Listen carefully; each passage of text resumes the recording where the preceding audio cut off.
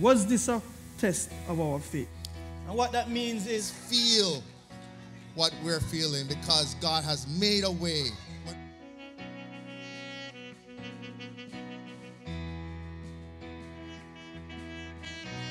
But believers must be reminded that Jesus Christ is the same yesterday, today, and forever. I must report to you that I am not well. I have a torn what something in my in my in my knee.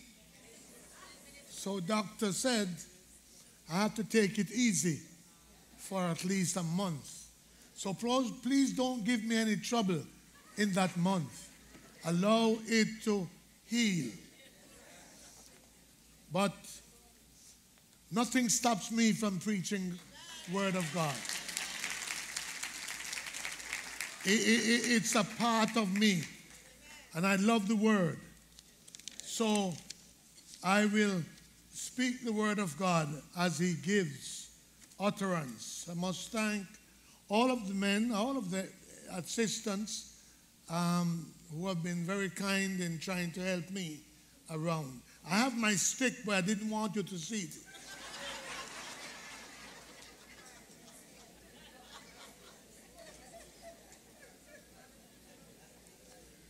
Before you wander away into the things which distract you from listening to the Word of God on Sundays, I beg you this morning to listen keenly to the Word of God. As we will see the historical situation out of which the birth of Jesus took place and your significance to it. Some people just celebrate without considering the significance of it. There is deep significance to the celebration. The celebration which we have been doing is mainly for Jesus in its adulthood. But the real thing begins before his adulthood. So listen to the word of God today. Try and listen as much as possible. As much as possible. Try and listen so that you will understand your significance in all of this. Today I should speak to you from Jeremiah 29 and verse 11. Jeremiah 29 and verse 11. It reads, together please. For I know the thoughts that I have, that I think toward you, says the Lord. Thoughts of peace and not of evil, to give to you a future and a hope. To give to you a future and a hope. The topic Joy to the World. The Lord has come to give you a blessing for the future. The topic Joy to the World. The Lord has come. I'm talking to you today about the fulfillment of Jesus Christ and the blessing that he has in life, had in life for us. From the history of Genesis chapter 1, we know that all human beings are born out of relationship with the Father God. All of us are born out of relationship with the Father God.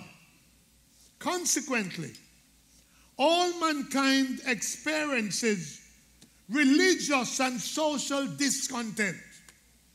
You have to agree that in our society today, you have a lot of discontent. People will have more psychological, people will have terrible psychological problems today even than before. This world is discontent, and we are experiencing discontent We're having crisis, crisis which we don't even understand. But God made man with the gifts and abilities, despite the discontent. We have one fact is that God made man with the gifts and abilities to communicate with one another and to reach a level of understanding between each other. If God didn't give us that gift and ability, you imagine it would be terrible. It will be, it would be war all the time. But despite what is going on, man has been made with a, that gift and ability to communicate with one another. But you have to see, friends, many of us don't even know that. We're not even aware of it. We, well, while the celebration was going on, the, the Christmas celebration, I, I thought that many people don't even know what they're celebrating. They eat the chicken and the turkey and the ham and the rice and peas. What is this celebration about? They don't even think about it. And that's why I'm begging you this morning. I am begging you in the name of Jesus Christ. Listen. And not just the young people, all the ones listen. Hear a little bit because today's message is not an ordinary message. It's historical and it relates to you and what Jesus Christ has done. The basis of that understanding is called His love. The basis of understanding is called God's love. That's what God wants you to achieve. Remember, He said, I promise you something. I'm going to give you hope. But you must understand the hope what I'm talking about, which is based on love. God chose and equipped the Jewish people. Now listen carefully. God chose and equipped the Jewish people from among other nations. There were many nations existing, but God chose one nation to represent Him. God's purpose was for them, listen the purpose and see what's happening. God's purpose was for them to worship Him and to fulfill His mission of proclaiming His love to the world. That's why God made and chose the Israelites, this nation, not because of their good looks and not because their moneyful expectation. God chose one nation because he wanted one to proclaim his word and to fulfill his will of letting the people know and the world knows of his love. Because man was born separated from God. And the love is to bring us back together like parents and children, having been separated from one another, having lived in malice. But God made provision to bring them back together. Let's read First Peter 2 and verse 9. Listen now. First Peter 2 and verse 9. We're talking about why God chose the nation of Israel, the nation of Israel. Let's read.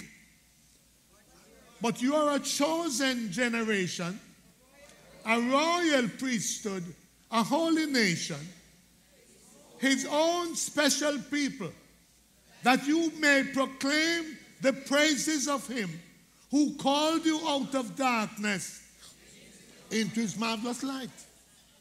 So that is why God chose Israel because he could only use, he in his plan could only use one nation. But remember, God has a purpose for the nation. My friends, God has a purpose for your life. God has a purpose for your life. God is a purposeful person. Purposeful. But like their fathers, like Israel's fathers, they struggled in their loyalty to God's standard. They struggled to keep the standard of God. They know where they were going, but they struggled, just like you. Many of you are Christians, all of us, many of us are Christians, but we still fail. We sin. We don't speak right, don't think right. Parents against children, children against parents, not because we want it, but because we are failing creatures. So Israel failed to standard of God in maintaining that peacefulness between people. All, remember I talk about the Jewish people, Jewish and Israel, same thing. All who were not born Jews automatically came under this special covenant with God. Remember, there are Jews, Jewish people, and other people were not Jewish. They were called Gentiles. So you're a Gentile. You are a Gentile. You are a Gentile. All who were born are born Jews automatically came under this special covenant with God.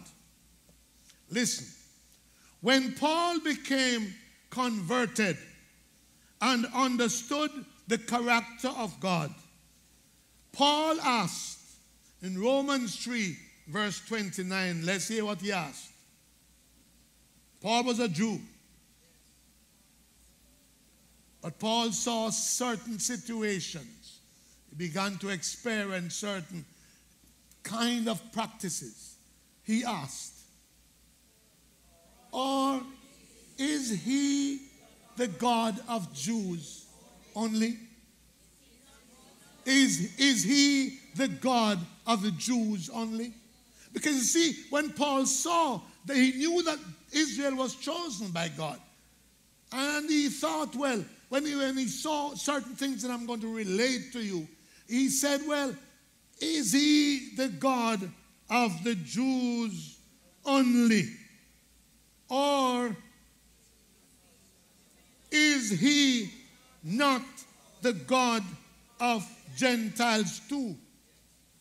And there is significance in why he asked that. Listen to the significance. When some individuals or groups are chosen to a position of honor, pride and prejudice tend to fill their hearts. When certain individuals are chosen and equipped and given the honor of social class, pride and prejudice tend to get in their minds. That is what happened to Israel. That's why Paul asked, Is he not the God of Gentiles as well? Because sometimes, well, in Jamaica we used to say, well, I don't know if I should say it. Um, let me say it to myself, not to you. Negroes can't stand success. Some of the things people say. Negroes can't stand success. But it's like the Jews couldn't stand success. So God spoke. It's not racial. It, it's not racial. All right, all right. But you, you, can, you can forgive me. Forgive me if you want to. But if you don't want to forgive me, that's all right. What we are saying, friends, some of us cannot stand success. But the fact is this God designed some of us for that success. Sometimes it's funny to see we come from nothing but we are getting to somewhere. God provides for us, and it's shocking. Israel, Paul was, was shocked to realize that the Gentiles were also people of God. So, the Jews made special laws or rules such as circumcision. The Jews, they're big, they're chosen by God. So they take over. They made rules and laws which mainly governs them and separates the Gentiles from even realizing that God was for them as well. The Jews made these laws, some of which circumcision, circumcision means like a branding. You see the, the, the many young men, uh, older men, are going around with branding. What's the, what's the term for it? Huh? Tattoo. Tattoo. They are branded. They are branded, and some of it, some of it is um, permanent. Some of it is very, very permanent. And, and, and some of it, the Jews, when they had that kind of thing, they, it was identity. The Jews wore these branding tattoos for special identification. So wherever you see them, you know they are Jews. You see, the Jews went to all ends to show that they are the people of God. It's funny, sometimes we behave that way, that we are the only people of God. Sometimes Christians behave that way. Sometimes non Christians even behave that way. People, my friends, God is a wonderful God. Let's read. Even today, even today, some of those practices are being imposed, being imposed which cater to their, their own righteousness and not God's righteousness. Sometimes we make rules and laws which big us up and let down the other people. So, natural thing is going to be one of the natural behavior patterns is going to be discrimination. Discrimination. Let's read Romans 3, verses 27 to 29. Read it, please. Where is boasting then? Where is boasting? It is excluded. God did not intend for the Jews to be boasting about anything, but to be servants of God.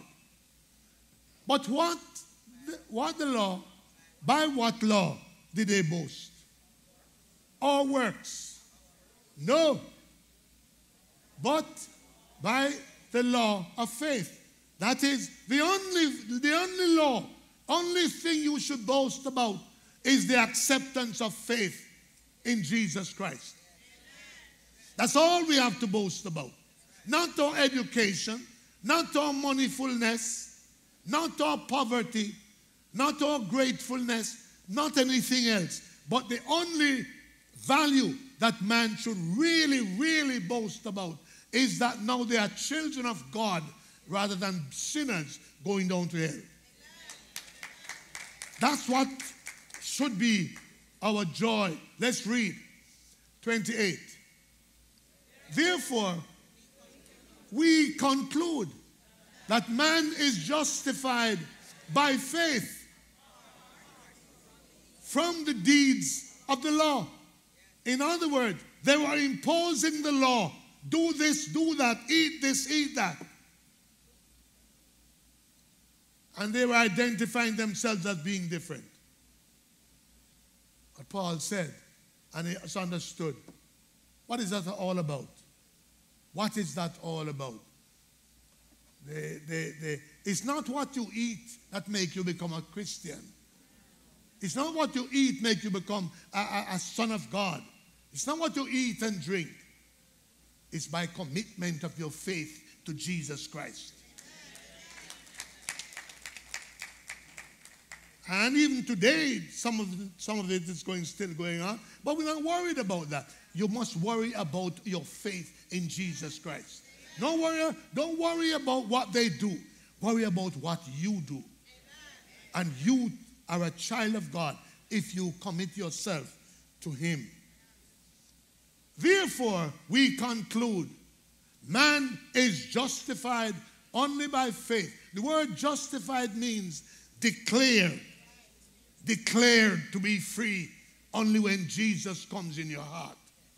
So you can keep your money, keep your beauty, keep everything else.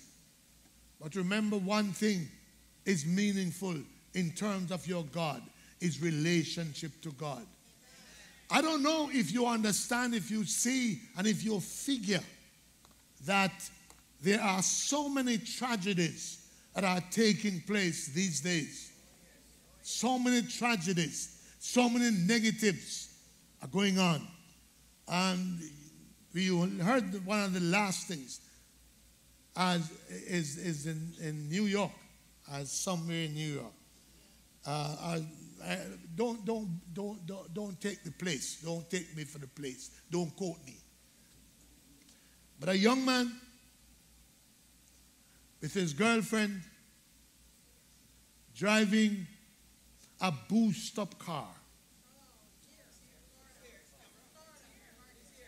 No matter where it takes place, it takes place everywhere. Take place everywhere. Not thinking about life enough. And the result was fatal for both of them. My friends, you've got to stop and think. You don't, your youthfulness now does not mean permanence.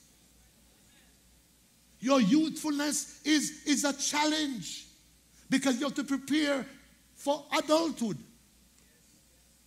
That means Jesus Christ needs to be in the plans because you plan, but Jeremiah said, I have plans for you. I have plans for you. And that hope, that plan has hope in it. There is hope in Jesus Christ. Only that, that, uh, that real hope is in Jesus Christ. So whereas you enjoy yourself and do all you may want to do, but think, think, think, you are not the controller of your life. You're not the absolute controller of your life. It's significant to regard Jesus Christ as a part of your life. The Jews were chosen for a special purpose. They were to be light and salt of the world. We have been talking about that. Special reason.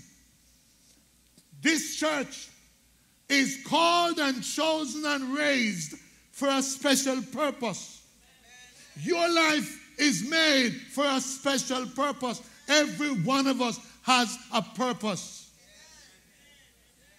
So, as we celebrate, what are we celebrating? Do we consider our value in the world? We are Gentiles. I'm going to speak a little more on that. There developed religious discontent and a rift between the Jews and the Samaritans. Samaritans were also Gentiles. So I told you that uh, of the boastfulness of Israel, which developed into a rift, a tear between the Jews and the Samaritans. So much so, so much so. It was said, Jews and Samaritans have no dealing with one another. Jews and Samaritans have no dealing with one another. Isn't it, isn't it hurtful by God for God to see the people whom He called and chose to have malice with another set of people whom he created. What about today? Is there any malice going on between nations? Is there any cruelty going on between nations? You can find that the verdict is yours. The social and religious, social and religious people yearn for a savior because of what was going on. And we today are yearning for peace and love. So we are not like, not, any different from those before Jesus came. We yearn for a Savior. We, learn, we yearn for a Messiah. You yearn for a Messiah in your home. You yearn for a Messiah on your job. You yearn for a Messiah in your community because it appears as though nobody is in charge. It appears as though no one is in charge in the home. Do you realize that today children behave as though they're in charge? And adults want to be in charge, but they say, Lord my God, what am I going to do? Nowadays, children up to, up to eight, it used to be 21 children up to eight years of age are in charge. What they want, they have to get. Where they want to go, they have to go. Children at 16, 17 don't have boyfriend, they have husband and wife.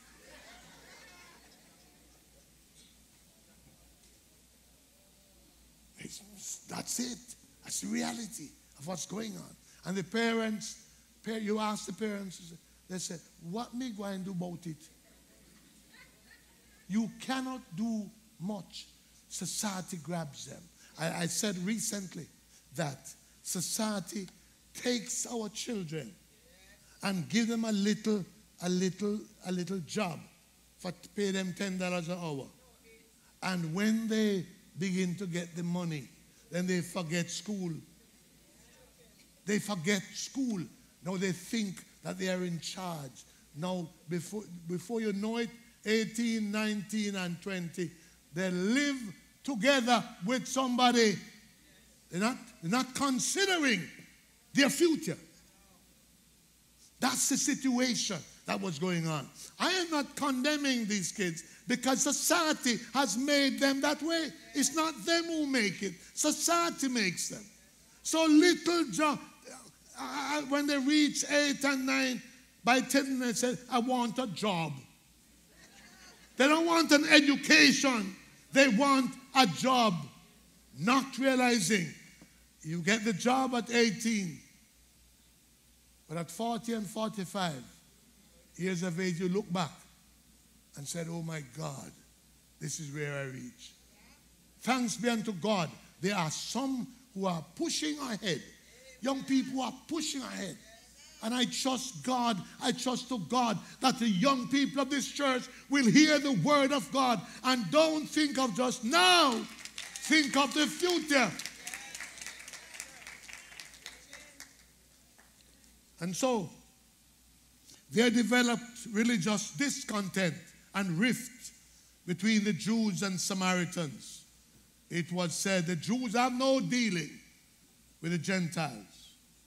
The social and religious yearns for a Savior, a Messiah. We want, uh, a, maybe you want a Messiah right in your house. You want a Savior. We all do. As grandparents, there's a difference sometimes we see between what's going on now and what used to go on. And it's not money. It's probably the problem is not money. The problem is who is in charge of our society? Who is in charge for young people? It's a culture. It's a culture which is developing. And, and, and uh, you, you, you have nice baby, now you dedicate and so on and so forth. Give you 10 more years with that baby. They take over and they want to run their lives. And so, my friends, the term messianic hope was developed.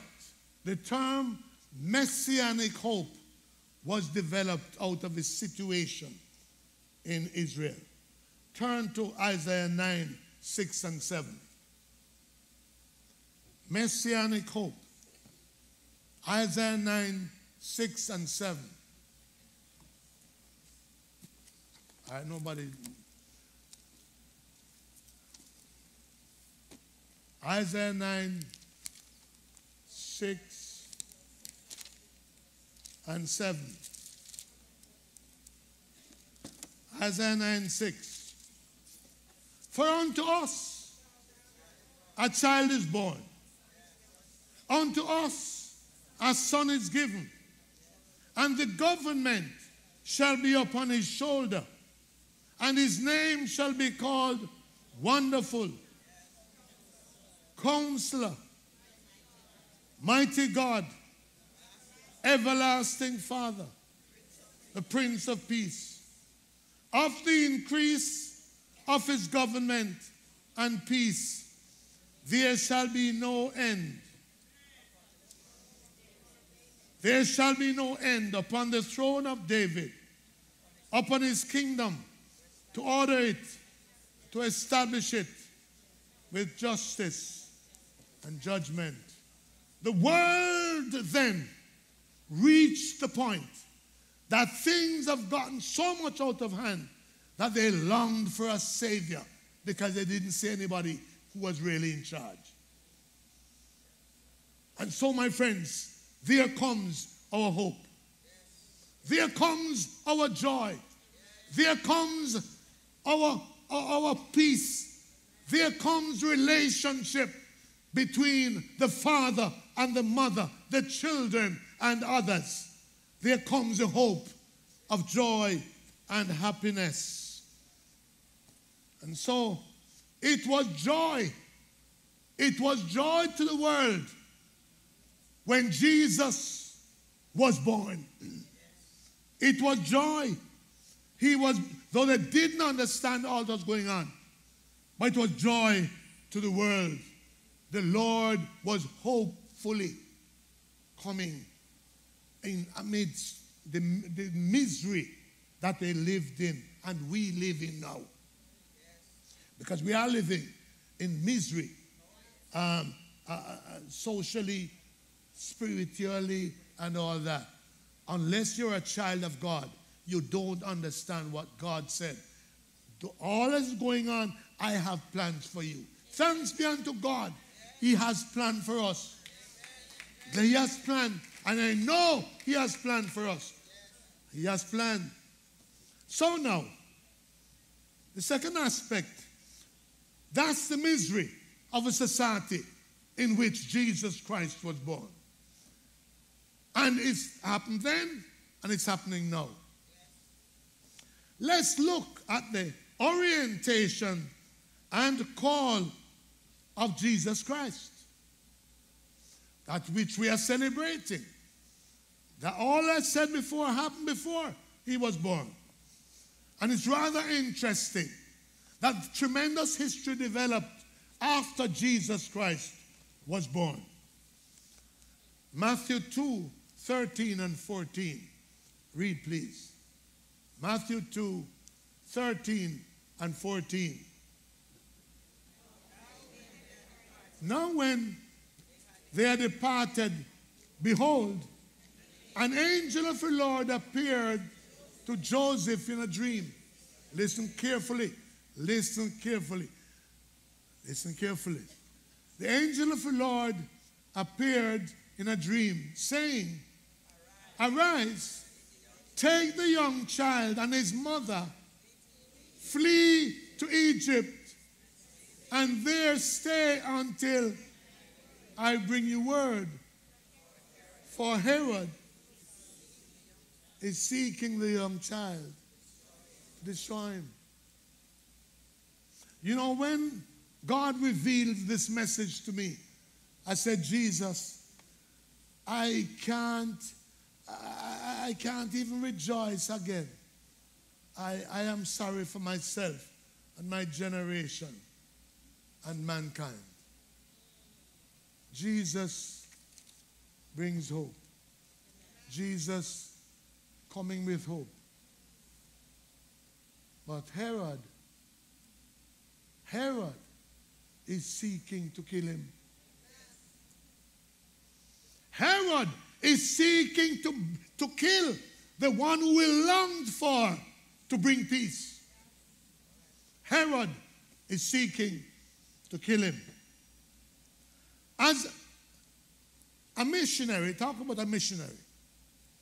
A missionary is one who is endorsed by a church to go into an area to carry on evangelism or activities as education and hospital work. It's a missionary called by a church or organization go out to carry on the work of God in a situation. Some of these areas are terribly, terribly hostile to Christianity. Many missionaries, uh, well, the, the, the Southern Baptist Convention, Southern Baptist Convention, we give 10% of the money received in this church to the Southern Baptist Convention. We give 10%. You see, we ask you, we tell you, we use the Bible and we say tithe to the church. But the church is also has also has to tithe. And we tithe to our parent company, the Southern Baptist Convention. And the Southern Baptist Convention has over 5,000 missionaries throughout the world who are serving the denomination and God. And as I told you, some of the places are hostile. But we give to God's work, and it's a pleasure to give. And every month, every month, we give 10%, at least 10% to the Southern Baptist Convention to, to maintain the services of the denomination. Yes, clap. Because you don't realize that when you give one cent, that one cent doesn't stay here. One cent is spread all over. And some people don't give to church. I said, church don't need any money. Well, we forgive them on the grounds of ignorance. Because God depends on us to do his work. In the same way, God chose Israel, the Jews, to do his work. Many missionaries, as I told you before, serve in places and circumstances that are hostile to Christianity. They are there, but you don't know because they don't, they don't necessarily carry on the activities that you see. They don't preach. In, in, they, they don't preach, they are. They are. Don't preach because of hostility. Jesus was one such missionary. Jesus was one such missionary who accepted a call to bring salvation to a dangerous world. Our world is sometimes dangerous, some places, dangerous. Jesus was a missionary called by God to serve in dangerous world. He was born, listen carefully now, friends. Jesus was born in Bethlehem among his own people, but he received the official call and orientation as a missionary in a different land. The land was Egypt. He was born in Bethlehem. But he was he had to run away to Egypt for orientation and the call. Do you realize that? You see, we don't we don't we don't hear about that in, in our celebration. We don't hear about that. We celebrate as though everything is all right. Jesus Christ was a missionary. And he came to save the world. But his job included running away. Read, we're going to read, um, we're going to read again. Um, we're going we're to read again a passage, Matthew 2, 13 and 14. Read Matthew 13 and 4. Matthew 2, 13 and 14 again.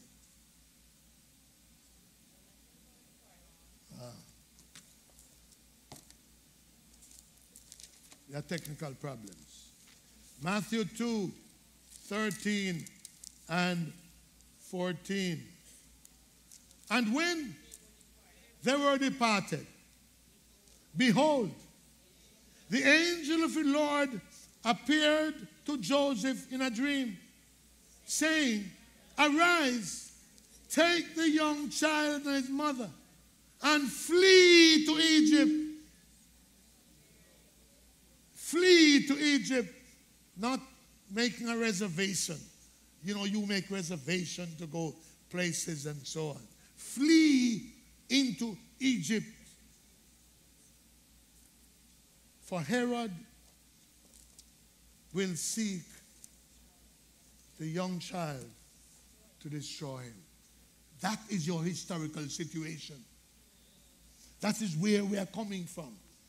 That's the relationship that existed between your forefathers. And now, Jesus had to run to save his life. And so, my friends, he was born in Bethlehem, but he could not stay in Bethlehem. Last week or week before, Reverend Dean said, sometimes it's hard to stay among your relatives. It's hard to live among your relatives because you think your relatives would love you more. Your relatives hate you sometimes because of J E Jealousy. Or you don't think that your relatives are jealous about you? Check your family. You may find some jealousy right there among your people. The nature, I, I am going to tell you a few reasons. I don't have much time, but I want to tell you a few reasons why there, were, there was problems why Jesus had to flee to Egypt. I told you already that Herod was a terrible man. Herod was a ruthless character. Herod was a ruthless character. He was, a, a, a, but he wasn't a gunman but what he was. I don't know what. He was a sword man. Jesus, a Bethlehemite, he's seeking the sword. He's giving Jesus Christ his sword. Jealousy in our hearts. And jealousy is a cousin to ignorance can reach the level of rage and wickedness. Jealousy in our hearts can reach the level of rage and wickedness. It may not be your family, but it may be your family. Be careful of jealousy. That's why Herod was seeking the young child to kill him. Jesus, Jesus, look, my friends, Jesus did not want to be king. Jesus did not want to be king. Why? Jesus is the King of kings and the Lord of lords. It's only ignorance of Herod why he was jealous for Jesus Christ. Check your home. Sometimes you're jealous of your people for nothing. Secondly, because of the nature of Jesus' birth, that's why he was rejected. Jesus was born not in a hotel or hospital. He was born in a stable. This boy born in a stable, not equal with me. Uh, be, be, be very careful. Be, be very careful because these days the money you have and the, the strength you have and all of that is fading. So your hope can't be in the money. Jesus was born in a stable. But it's not where you were born, it's who was born. You don't say amen at all? It's who, not where you were born. If you check, I don't have, don't have time. If you check many of your relatives and look at your kids and the situation in which they were born and where they reach now, we say, God, thank you.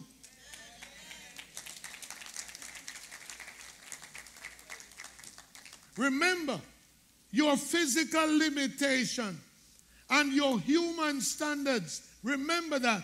But God moves in a mysterious way his wonders to perform.